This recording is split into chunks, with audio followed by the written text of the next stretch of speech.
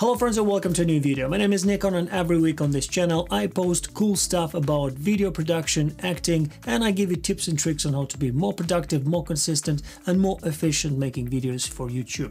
Today I'm going to make a pretty cool video about this two MacBooks. So this one is a MacBook uh, i9 from 2019 and this one is a MacBook Pro M2 Max chip uh, from 2023.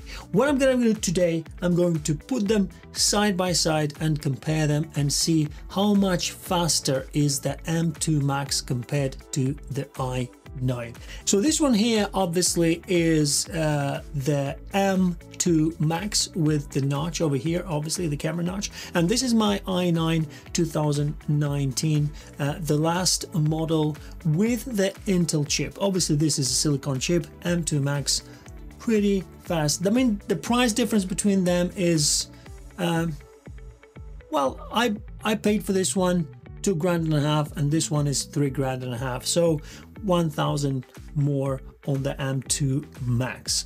Right, so let's start the test. We're gonna do um, the first one, we're gonna uh, turn them off altogether. All right, so we're gonna turn them off, uh, shut down, shut down, and let's see what's gonna happen. Three, two, one, action.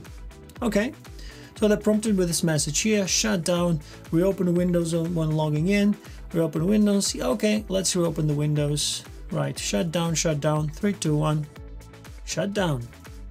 So, this one, well, basically identical results. Pretty impressive. Okay. Remarkable. Okay, so identical results on shutting down, but um, you also have to understand that both uh, MacBooks are sort of like factory reset, there's not a lot of things on it right now. Say, you could say they're both sort of brand new. Okay, so let's turn them on. Uh, so, we're turning them on at the same time. Three, two, one, let's go.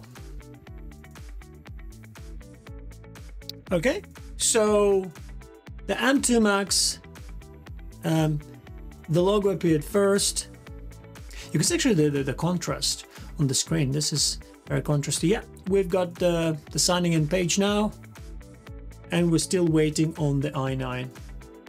It's about five seconds um, behind. Okay, let's put the password. Okay, one, two, three, four. Let's press enter and see what's gonna happen. Okay.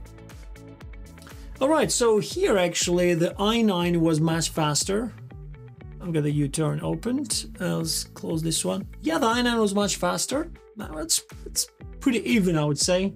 Probably like less than a second. This one uh, was uh, behind.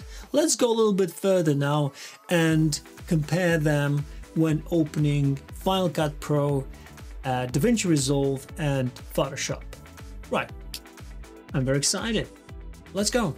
Uh, okay, so right let's go and open uh, Final Cut Pro on both of these machines. Three, two, one, let's go.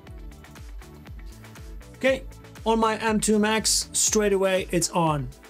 On my i9, it's still thinking. So you see the native um, Final Cut uh, Pro on both of these machines. This was about five to seven seconds um, behind from the M2 Max, but obviously this one has 38 gigabytes of uh, unified memory compared to my i9, which has only 16 gigabytes of RAM. But at the time, this was actually a very powerful machine with a 16 uh, gigabytes of RAM and uh, an Intel i9 core. Now what I'm interested in now actually is uh, DaVinci Resolve because I do a lot of work in DaVinci Resolve and the reason why I'm uh, switching or upgrading to a M2 Max is because I do a lot of video production, I do a lot of editing and I need a powerful machine. That's why I'm switching and upgrading actually for from my i9 to M2 Max. Right, let's see uh, DaVinci Resolve now, how fast they are. Three, two, one, go. DaVinci Resolve on my M2 Max, both thinking, both thinking. Okay, well that's that's interesting. Okay, it's on on my M2 Max. Okay, ready to go on my M2. Ready, and I still have two projects here. And on my i9, still thinking, still loading some stuff, still loading, still loading, still loading. The i9, DaVinci Resolve, quite slow. And I have to say, I don't have any projects on my i9 because as I said, I'm gonna sell it and I had to delete everything and reset it with the factory settings. So that's why um, this one is much slower and I would say it was about 10-15 seconds slower on DaVinci Resolve 18 and actually this is the reason why I'm switching from i9 to the Silicon M2 Max because on DaVinci Resolve this was this here was very, very slow, the i9. Right, okay, so we saw DaVinci Resolve on Intel chips sucks. And actually Apple says that the M2 Max is about 80% faster than the Intel chips. Well, I'm not sure about that, but um, it is faster. Now what we need to check is Photoshop. So three, two, one, go. Okay, already started here, done.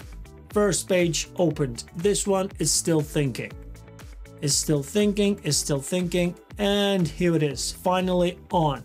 So yeah, much slower on the i9, which was absolutely obvious.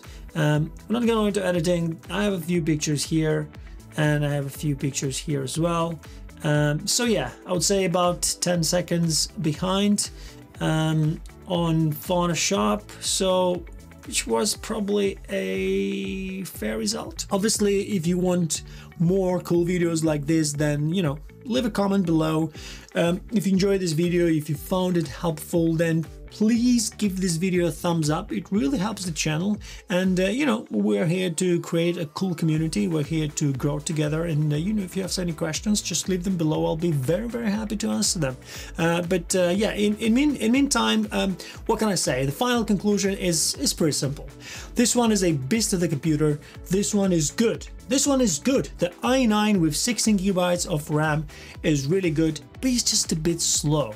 It is slow and if you are if the time is precious then then just work hard make some more money and get the m2 max which is as they say 80% faster than the i9 well i'm not quite sure if it's 80% faster in the real world but it's definitely i would say at least 50 percent faster than the i9 and uh, the playback on the m2 max is insane it plays so smoothly. This one was a bit staggering and was a little bit annoying. It didn't play really well, you know, and it was losing a lot of frames, especially in DaVinci Resolve editing. But the M2 Max is just a beast of the computer. It's so, so nice and it's so easy to work. And uh, I know... It costs a lot of money, but if you buy it in installments and pay every month for 12 months, it's about $300. So if you can afford that, then definitely go for installments. And uh, if you're making money on YouTube, then, you know, this is something to go for. This is a goal, you know, and uh, this will motivate you to, to work harder, to make more beautiful videos and, uh, you know, improve your um, um, production value. I guess. Yeah, because you have to be better.